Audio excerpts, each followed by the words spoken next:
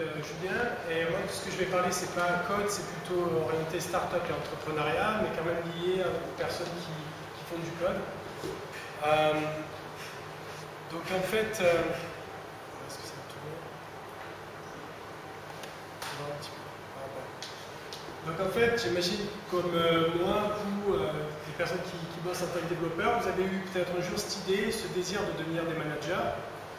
Euh, et, euh, et, donc en fait euh, de, gravir un petit peu les, échelons pour devenir le, le, N plus 1, comme on dit dans les grandes boîtes. Quoi. Et,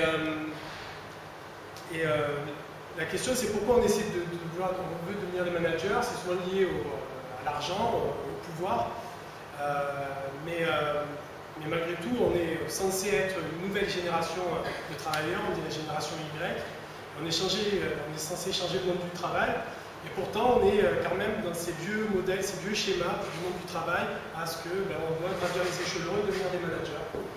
Euh, ce que je trouve euh, un petit peu bizarre. Euh, les images, en tout cas ce qu'on connaît des patrons managers, ce sont un peu ces messieurs-là, qui sont tout à fait adorables, surtout ceux du milieu. Et, en fait, on se pose la question est-ce qu'on veut travailler pour eux et est-ce qu'on veut devenir comme ces mecs-là Moi, en tout cas, c'est pas, trop, pas trop mon cas. Depuis 15 ans, on voit qu'il y a de nouveaux euh, types de patrons, de nouveaux types de, euh, managers, ces gars-là sont des exécutants euh, de purs talents qui font les choses eux-mêmes, qui créent des super produits avec leurs mains, et ensuite, ben, c'est innovant, les gens et puis ils montent leur boîte, et en même temps qu'ils montent leur boîte, euh, les gens qui travaillent chez eux, ils changent le monde du travail. Donc euh, eux sont vraiment ces personnes-là qui, euh, changent, qui, changent le monde un petit peu. Donc moi, c'est plutôt mes exemples, et et les, les, personnes que je souhaite devenir. Donc en fait, tout ça pour vous dire que moi ce que je déclare haut et fort, c'est que le, futur n'est pas dans les mains des managers, de celles qui exécutent. Euh, et je vais essayer un petit peu de vous démontrer tout ça. Donc euh, moi quand j'étais jeune, euh, j'étais le premier boulot que j'ai fait, j'étais paysan. Je travaillais du côté de Marseille dans un petit village. On travaillait sous le soleil, c'était très dur. Et, euh, et, souvent, on voyait le mec qui était sur, euh, sur le tracteur, c'était notre manager. On se disait tous, putain, salaud, on devrait devenir comme lui, on devrait sur le tracteur, se balader, euh, tranquille et tout, pendant que nous, on trimait.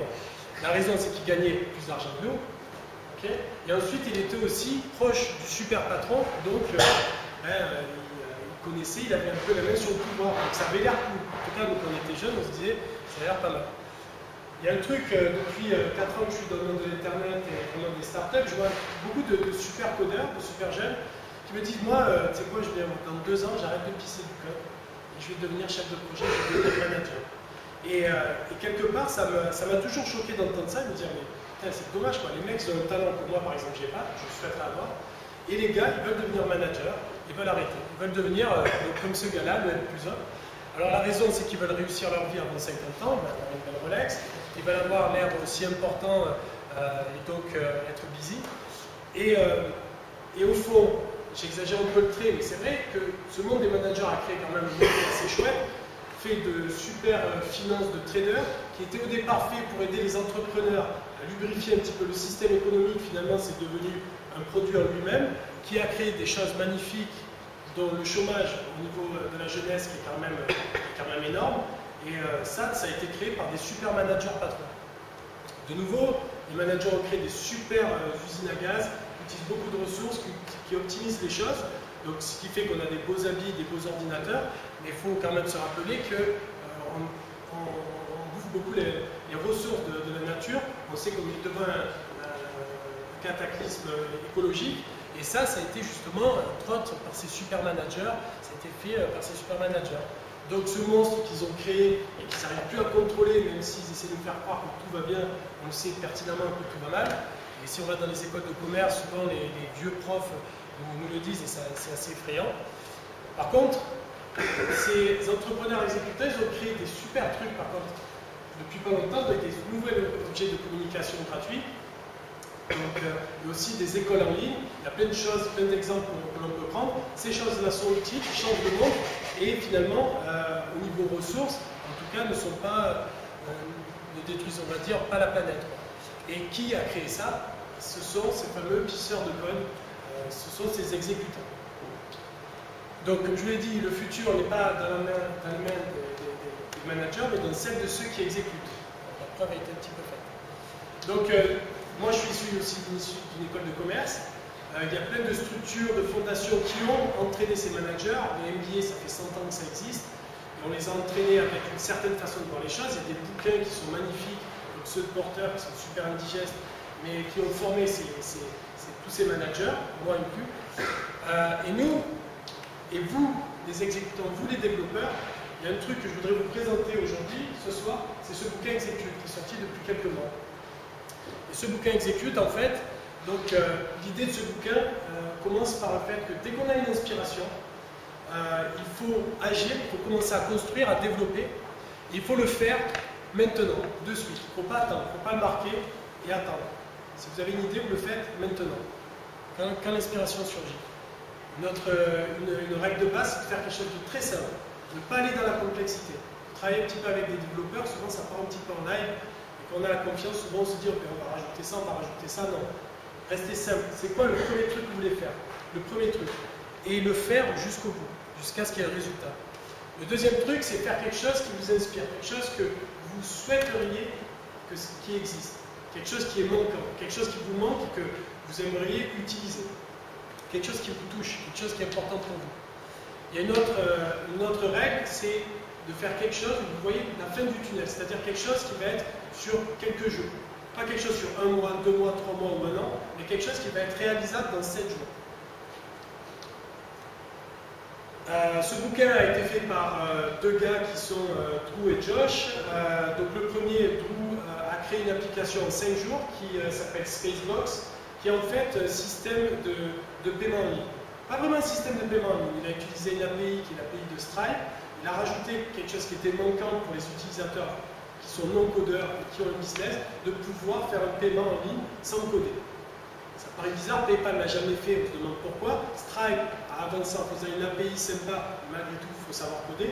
Eux, tout simplement, 5 jours, ils ont rajouté un truc qui fait que maintenant, et dans le futur, tout le monde va passer par Spacebox. 5 jours.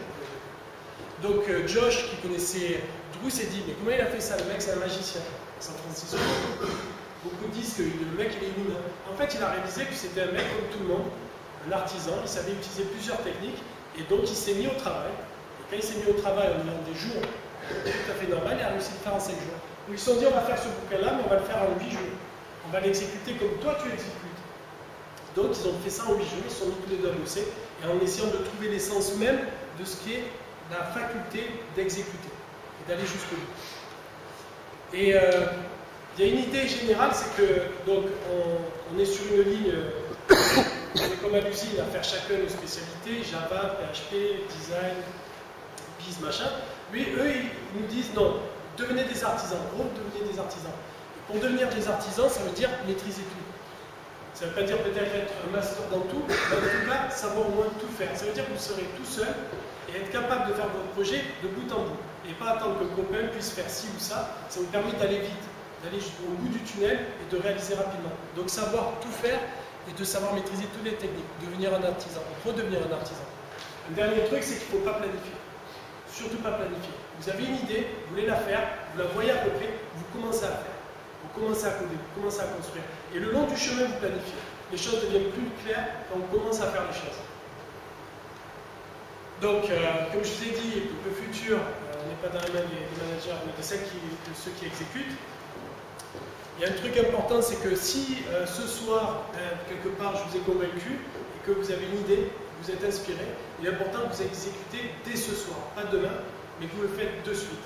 Ça serait dramatique que vous ne le fassiez pas, donc euh, ben, je, vous en prie, les gars, exécutez. Merci.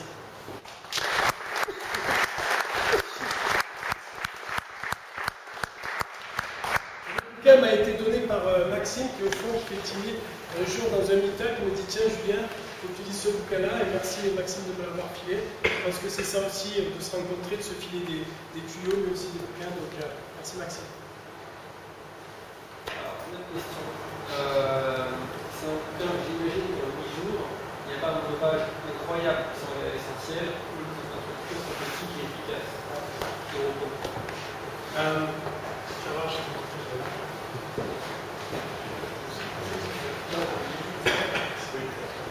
Et comme Plus les gars aussi, ils aiment beaucoup le design, donc ils essaient de nous renvoyer au fait que le design, c'est pas ça, il faut quand même essayer d'avoir une petite touche. Le bouquin est comme ça, super bien designé aussi.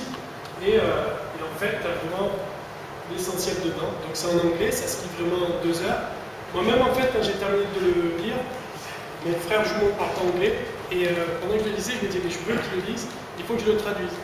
Et je me suis dit, ah, c'est une belle idée. À la fin du truc, je me suis dit, non, vais le traduire. Je me suis mis le soir à le traduire, en 9 jours, je l'ai traduit. Donc à la fin du mois, normalement, j'ai une version euh, française et que je pourrais vous filer. Euh, donc si les mecs, on est d'accord ou pas, je suis en contact avec eux, on verra si ça marche ou pas. S'ils sont pas d'accord, je les emmerde et puis. bon, en tout cas, le truc, c'est que je l'ai appliqué moi-même. Il y a beaucoup de choses que j'essaie d'appliquer moi-même sur ce que je dis.